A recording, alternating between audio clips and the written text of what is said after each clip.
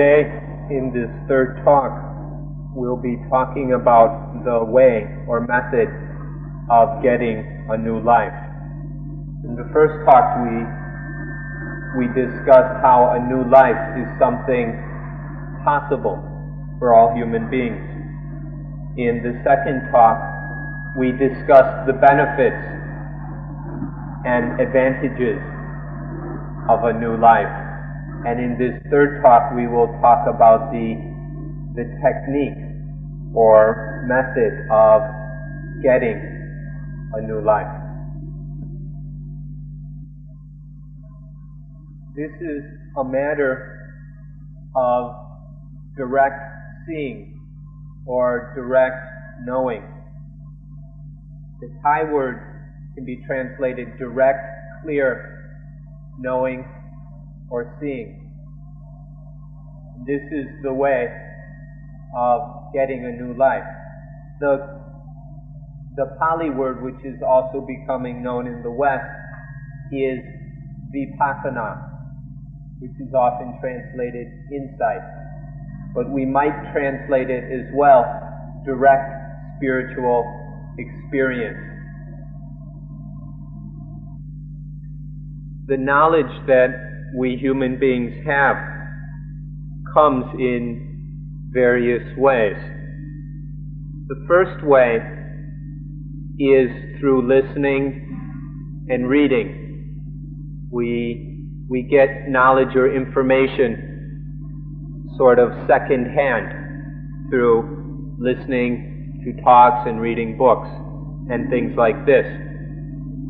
The second way or level of getting inform- knowledge is through rational thinking, taking the information we get and thinking about it in a clear way, reviewing it carefully in our minds, learning about the various cause and effect relationships through rational thinking. And this leads to an and a kind of understanding, an intellectual or rational understanding. And then the third way of, of knowing something is through direct personal experience of that thing, to, to see it clearly, directly, immediately. Instead of knowing about something indirectly, like hearing about it or thinking about it, to know it directly, to see it directly. In Thai, this is sometimes called to, to directly see, clearly know, and penetrate, thoroughly penetrate, to, to be imbued in something or it is also called vipassana. These are the three ways of knowing, the three levels of knowledge that we have. With each of these three levels, there is, on one hand, an activity and then the kind of knowledge coming from that activity. With vipassana, the third level, the activity is, we could say, sparking brightness. It's to, to like spark a light, or we could use the word illuminate, to illuminate something. It's comparable to the way we use a, a lighter to start a fire. There's darkness and then we with a small spark, a big fire starts. This is a material example. Of course, the vipassana we're talking about is mental. It's to spark or illuminate the mind, to have direct experience of something in a spiritual way, not a physical or material way, but direct spiritual experience of something. This is the activity or condition of vipassana. It's a verb in, in this, used in this way. Especially nowadays, there are many different systems of vipassana. There's this vipassana and that vipassana being taught in a variety of places. Here, we're interested in the Buddha's vipassana in particular. What interests us in what we try to follow is the system or form or style of vipassana which the Buddha himself practiced and the, the kind of vipassana through which the Lord Buddha realized perfect awakening or Buddhahood, which is sometimes called enlightenment.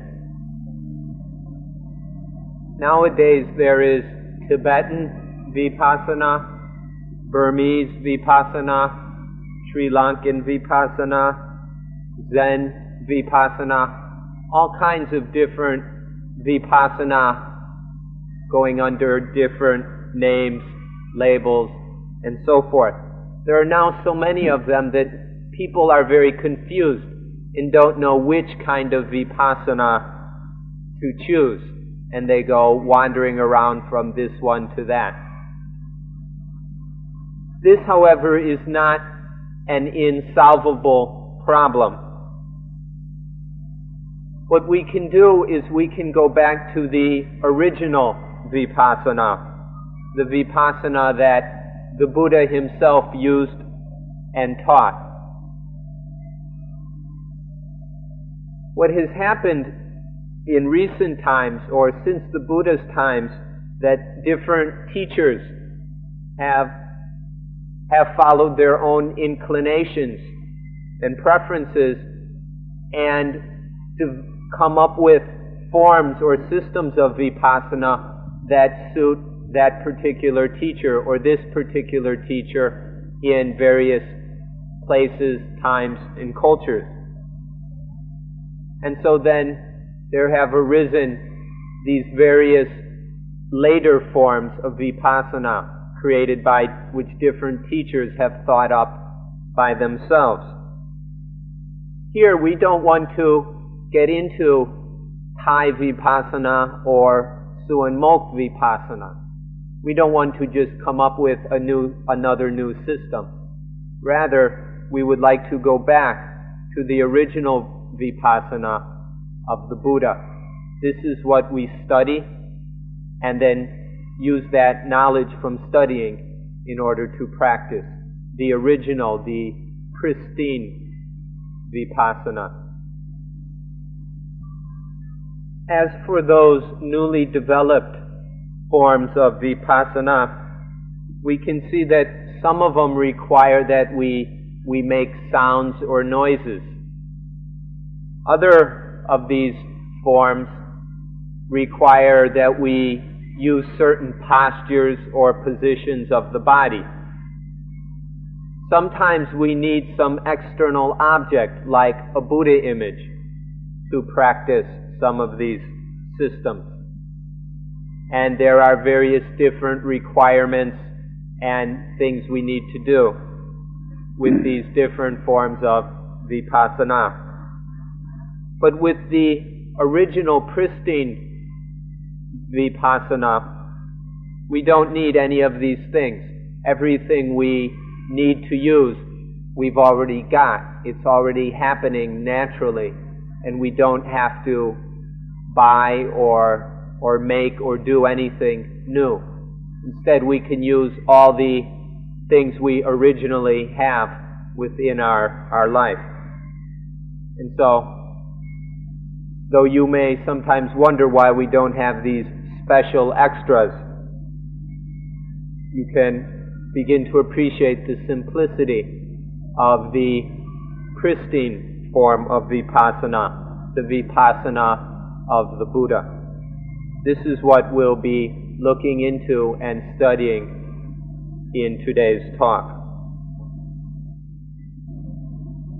Now, what we're saying here isn't intended to get into arguments or debates over what kind of vipassana is better. This isn't our purpose, because in fact, there's a very simple way that we can we can come to agreement among all the different systems of vipassana, whether original or or later versions. We, the point where we of mutual understanding is that no matter what kind of vipassana it is, if it leads to direct realization of the non-selfhood of the five khandhas or of life, then, then it's real vipassana. No matter what kind of vipassana, if it leads to us seeing that the five khandhas, that is, the five groups or basic functions of life, the physical functions, that the function of feeling, of discrimination, of thought conception, and of sense consciousness. These five basic physical and mental functions are called the khandhas or we can just summarize it as body and mind, or even more simply, life. To have the direct spiritual realization that in the five khandhas in life, there is nothing that is a self or soul. There is nothing worth clinging to as I or mine. Any, any vipassana that leads to this realization is genuine vipassana whether it's in a Mahayana package or a Theravada package or some strange and wonderful Tibetan package. That doesn't matter. All the important Mahayana suttas end with the non-selfhood of the five groups or functions, the five khandha, the five aggregates. And so really we're not talking about Mahayana or Theravada. These are unimportant distinctions. What we're talking about is pristine or original Buddhism that gets to the realization that in life there is nothing that we can call a self or a soul. Life is anatta. This is the, the meeting point of all systems of vipassana some of the superficial differences that appear before the, between the different systems are not really important. For example, it's common to develop concentration, samadhi, first, and then use that concentration in the practice of insight or vipassana. This is very, this is the general approach. But in Zen, they don't, they don't do that. They mix or they combine concentration and insight and call it Zen all at once. And the, the result explodes outward in sudden enlightenment. This can work and achieve the same realization and benefits as well. The difference is more in externals. Or then there's the, some of the old traditional ways that we still find around Thailand, where we have to break it up into a number of stages. First, there is morality, taking the taking of moral precepts, and then developing concentration, and then practicing insight. But sometimes this all gets turned into a big ceremony or ritual so that the morality becomes a ceremony of taking precepts and the and we have to do some chants before we can even do concentration and then developing concentration becomes a bit of a ceremony and then sometimes the the insight gets lost in all the ceremony. And so we have to be careful about all these external distinctions. And so what we would like to advise here is a way of practice that combines morality, concentration, and insight all in one practice. And this is the vipassana of the Buddha, which the Buddha himself taught. Something we'd like to go in uh, to a little bit more detail on is about some of the more popular forms of vipassana. These kinds of vipassana that include a lot of ceremonies and rituals and, and bowing and chants in this tend to be very popular, not just in Thailand, but all around the world, including the West. These forms of vipassana where we begin by offering ourselves to the teacher, to the vipassana teacher, giving ourselves up to the guru. This, these kind of forms are quite popular. And then we do various ceremonies in chants or even prayers in order for morality. And then even to begin to develop concentration often begins with a chant or sometimes a prayer asking for concentration. We don't know who we're asking, but somebody is being asked, please give me concentration, please give me rapture, please give me bliss, and the various things. And then asking and, and praying and chanting for, for insight, for realization, for attainments. These forms are, are very popular. It seems that people like or enjoy or are attracted by the magical overtones or the, the sacredness, the holiness of some of these, these forms that, that has meaning for them. And there's, this is okay. We're not criticizing these things, even if sometimes the ceremonies tend to get in the way of the vipassana. It doesn't matter so much as long as it ends up in realization or insight into the, into anatta, the, into non-self, non-selfhood or selflessness. Even if it's a little bit of a roundabout way, if it comes to this realization of anatta, then it's good enough. Then it, it gets to where it needs to go. So, these different forms, some of them have various surface characteristics that attract people, and so we find certain forms that are quite popular. But always remember what matters is not the, the surface things, the attractive or interesting qualities. It's the realization of anatta, of not self. That is the essence of vipassana.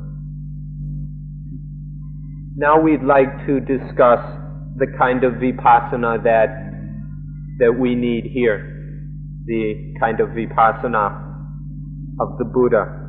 The first thing to do in this vipassana is to look at our old life, look at the old life, to see it for what it really is, to to to see how boring and wearisome the old way of life is. Remember the way we described it in the first talk. The old life is like a rope around the neck pulling in one direction and another one around the feet pulling in the other direction and then fires scorching us around the middle. This is a simile for the old life and this this kind of vipassana begins by examining the old life until seeing how, how boring, how tiresome, how wearisome it is. It's important that you understand what we mean when we say the old life. When we say the old life, what we mean is the life of upadana, or attachment. The Pali word for this is upadana, and it's translated into English in a variety of ways. To attach to, to cling to, to grasp at, are, are ways of trying to express the, the upadana of the old life, the, the clutching and clinging and grasping at things. This is to attach to things as positive and negative, as good and bad. This is the old life, the, the life of attachment. This is what we have to see first of all. To under, without understanding attachment or upadana, there's no way of, no way one could understand the old life. So to help you, we'll like to point out there are two ways of taking hold of something, of picking something up. One way is the way of attachment, to take something and cling to it, to clutch at it. This is upadana. But there's another way to pick something up or to take something, to take an idea or a practice or whatever. And that is called samadana. Upadana and samadana are two different ways of taking or holding something. Samadana is to take something with mindfulness and wisdom, with awareness and understanding, with wisdom, to pick something up and hold it without clinging to it, without attaching to it. The distinction is very important and very clear. The difference between clinging and just holding. One way is that of the old life. Samadana, to hold things, use them, is with mindfulness in wisdom. This is learned through through vipassana because through vipassana we develop the knowledge and understanding of how things are and what they are and then we can take them we can use them with mindfulness and wisdom rather than attachment. So if you understand these two ways of taking something, of holding something, the difference between attaching and just holding and using, this will help you to understand the difference between the old life and new life. There's a metaphor which shows the difference between upadana and samadana very clearly. If we pick something up with upadana, then it will bite us. If we pick something up with samadana, then it's safe. It doesn't bite. So we can see the difference in these two ways of holding things, of taking them. The one in which we get bit clawed, chewed on, and the way in which we don't get bitten or chewed upon. The first way is that of upadana, to pick something up in a way that it bites us, that we are punished by whatever it is we are attaching to. And we are punished by dukkha itself. This is what the old life is full of. The old life is full of this holding on to things in a way that they bite us, that we are punished with dukkha. If we can understand distinction, the distinction between holding to something in a way that we are bitten by it and holding something in a way that we are not bitten, then we will be able to understand what the old life is like. Then we will start to lose our contentment with it. We'll stop being satisfied with living life in that way. And we'll start to genuinely be interested in living a new life. The only way to see, to clearly see this difference is through vipassana, to understand what it is like to be bitten by things all the time. And then we, through vipassana, we truly see the old life for what it is. Through vipassana, or this first stage of vipassana then, is to see the dukkha, the suffering, the pain of the old life in where we're getting bitten by things all the time. This is the necessary first step of vipassana. When there is this seeing the old life as being full of dukkha, then there is the, the loosening of attachment to that life. There is the loosening or the weakening, the lessening, the dissipating and dissolving of attachment. In Pali, this is called viraga, viraga. Sometimes viraga is used as a synonym for nibbana. But we can say at least it's the starting point, the beginning point of Nibbana, the loosening, the dissolving of attachment. In Thai, there are some words that express viraga very easily. They can roughly be translated as loosening up or weakening or fading. And a simile that expresses this very well is a cloth that has been dyed with a variety of colors, very strong, bright, brilliant colors. When that cloth is left in the sun, those colors begin to, to fade. They dissolve, they break up, and become lighter and lighter, more and more faint.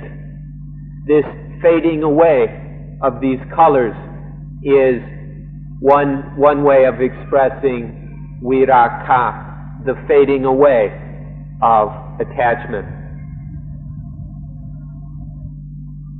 Now you can figure it out for yourself that if something dissolves and fades away and fades away and fades away, eventually it's gone, it's finished, it's ended, there's nothing left.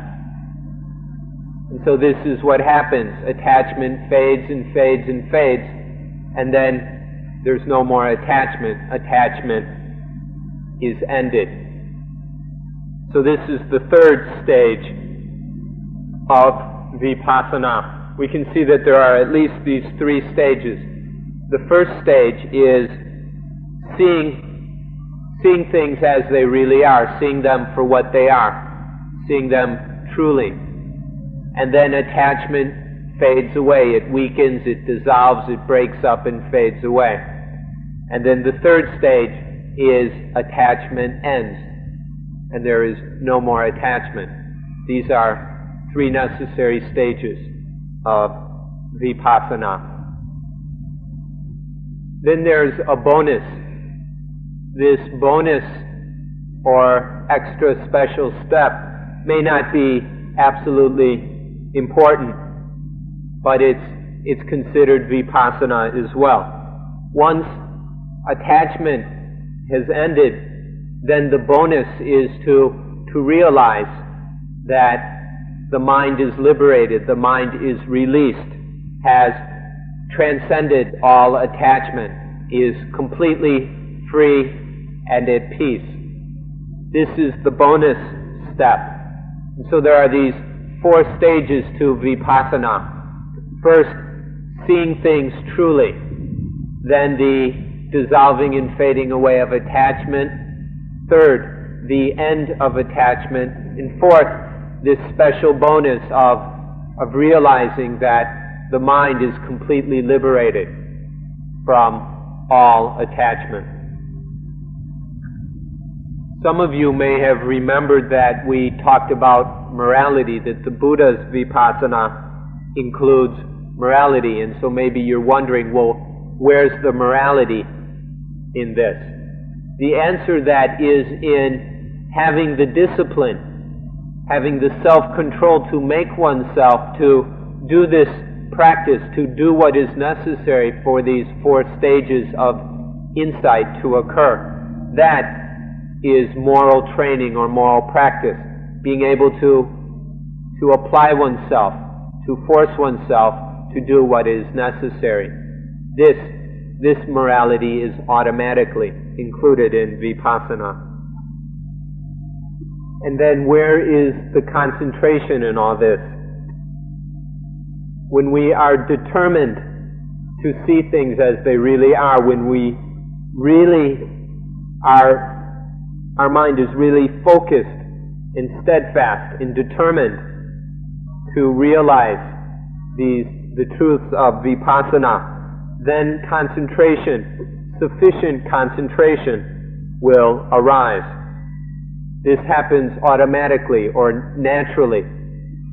That when the mind is really determined to do something, enough, adequate concentration will arise. For example, if we want to throw a rock or a stone at a target. To do that, the mind will develop sufficient concentration to successfully do it. If, the, if we're really determined to do that, the concentration will arise. This is a very natural thing that when there is enough determination, then the concentration will arise. The Buddha said that, and so the way this works with, excuse me, the way this works with vipassana is when there is, the mind is really set on developing insight, on seeing clearly, then that concentration will arise. Concentration and insight go together like this. The Buddha said, For there cannot be concentration unless there is wisdom. Wisdom and insight are synonyms. And there cannot be wisdom without concentration. If one has wisdom, there will be concentration. And when one has concentration, there will be wisdom they, they arise together. They're natural. They support each other. We can't really separate the two. And so, even in something like shooting, aiming and shooting a gun, that requires concentration, and the necessary concentration will arise if we're genuinely determined to do it correctly. So, in this vipassana, concentration enough, sufficient concentration, nothing fancy, but enough to get the job done, will arise naturally. And then where is faith? Where is faith in all this? When there is vipassana, faith will arise automatically as well. In an evolutionist religion like this, faith follows from insight and wisdom. In creationist religions, faith comes before wisdom. There is some belief and faith in something outside oneself. And then wisdom will follow after that, that faith and belief. But in the evolutionist religions like Buddhism, faith comes after insight. When we see something clearly, to the degree we see it clearly, we have faith in that truth. And as vipassana develops, then faith develops after that development of insight. Or we can see there is some insight, and then there is faith follows from that insight. That faith supports the further development of insight, and then faith grows as well. And as faith is growing, it continues to support the development of wisdom. But in, in Vipassana, in Buddhism, faith is following from wisdom. It doesn't come before. And so you can see that in vipassana there is moral training, there is concentration, and there is faith, automatic, all within the, the one thing of vipassana. Then we can look and see if any of these is weak or insufficient, if there's not enough morality or not enough concentration, not enough faith, then we can work or train, we can study, train, or practice specifically on that area. For example, if we see that morality is weak, then we can specifically work on developing morality. But to do so, we have to use insight and wisdom anyway, so that it is wise morality. Or if concentration is inadequate, then we can work at the strengthening concentration. But to do so, we do this with insight as well. And then if faith is lacking, we can study, we can we can consider and do whatever is needed to develop stronger faith. But still, this is done through vipassana. So no matter what, we can't avoid vipassana. To have morality, concentration, faith, or whatever, we need to be practicing and developing insight or wisdom. Finally, we can't avoid reminding or insisting that the, the way of practicing this complete and correct vipassana is through anapanasati, mindfulness on breathing, the 16 step or four tetrad approach to anapanasati as taught by the Buddha. Through this practice, a complete and correct vipassana will develop and be practiced. And there will be nothing lacking or missing. It will be perfect vipassana. So, please be very interested in studying further the practice of anapanasati. We've, we, today we've explained the essence of anapanasati, which is vipassana. Anapanasati, or mindfulness of breathing, is vipassana. There are more details to it which we, we recommend you to look into, study, and then practice further. And so today we'll leave you with this reminder that to practice vipassana correctly successfully for the highest benefits, there is no better way than by practicing the 16 steps of anapanasati as taught by the Buddha. This is the original or pristine vipassana. And the rain is forcing us to to end the meeting at this point, so we'll have to stop a little early so we, we all don't get wet and catch cold.